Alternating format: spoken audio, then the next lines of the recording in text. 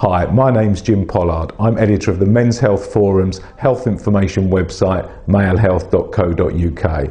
I'm here today to share with you five very simple health tips, things that any bloke can do without too much trouble. Sing and you're winning, you just have to sing and you're winning. Did you know that when you sing, your heart rate goes down and your level of stress goes down because you have to control your breathing in order to do it? It's a really effective, very simple stress reduction technique. So why not get the boss to join you in a chorus of The Wind Beneath My Wings?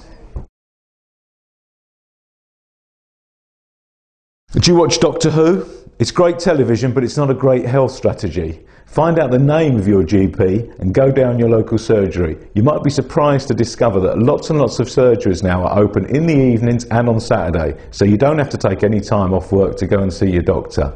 Pop in, ask them for a leaflet. All doctor surgeries now have to provide a leaflet which gives all the patients all the information that they need.